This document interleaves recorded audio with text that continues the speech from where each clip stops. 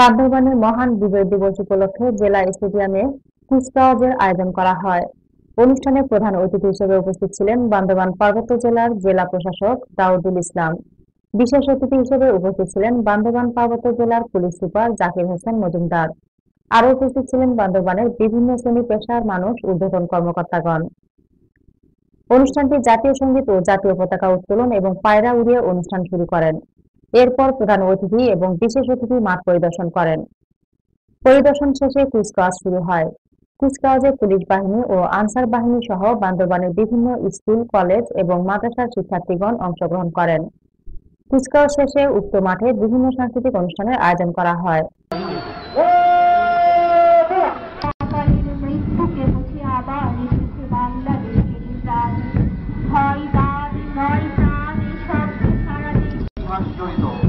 পাকিস্তানি দুঃশাসনের বিরুদ্ধে আন্দোলনের যে সূত্রপাত হয়েছিল, তার প্রেক্ষিতেও বিজয় দিবস তাৎপর্যপূর্ণ।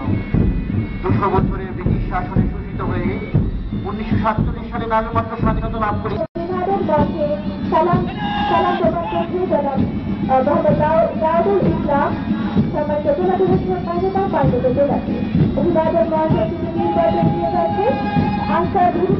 সালাম